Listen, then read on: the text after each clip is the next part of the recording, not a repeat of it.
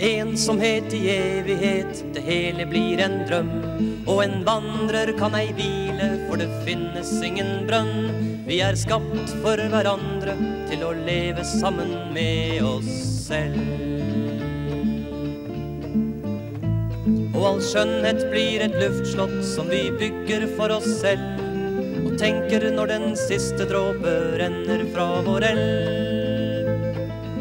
verden uten oss kan aldri bli.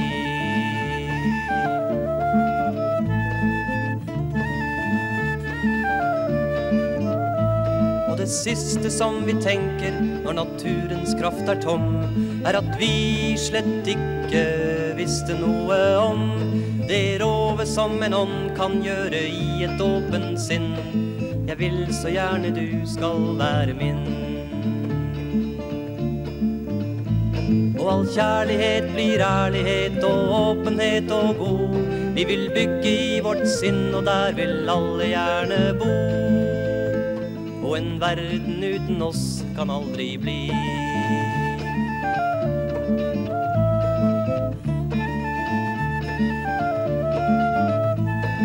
En tanke flyver i et sinn og vil søke evig fred, mens den ene sanne virkelighet kun finnes på et sted. Vi kan aldri leve livet uten kjærlighet til den vi vil. Og all evighet blir nåtid, og vi sovner stille hen til et drømmerike i et sinn og søker gjerne den med verden i sin hånd kan gi oss liv.